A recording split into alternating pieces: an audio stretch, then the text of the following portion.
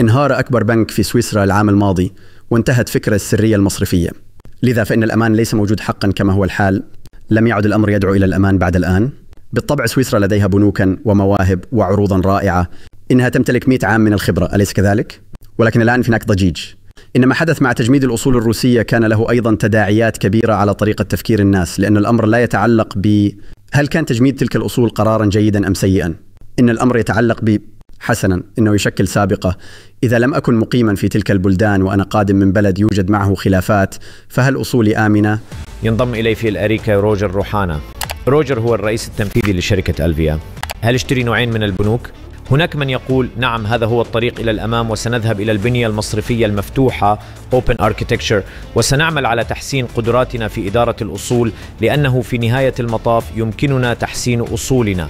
أم أن هناك آخرين يقولون لا؟ سنستمر في الترويج لما ننتجه. ونعم سنعطي أهمية أكبر قليلا لرجال إدارة الثروات من خلال منحهم تطبيقا وعددا اضافيا من المستشارين. هل كان هذا سؤالا غبيا؟ إذا كان بإمكانك الإجابة على هذا السؤال بصدق ما هو التحدي الأكبر الذي تواجهه من حيث جذب البنوك إلى فلسفتك ومنصتك وتحويلهم إلى عملاء؟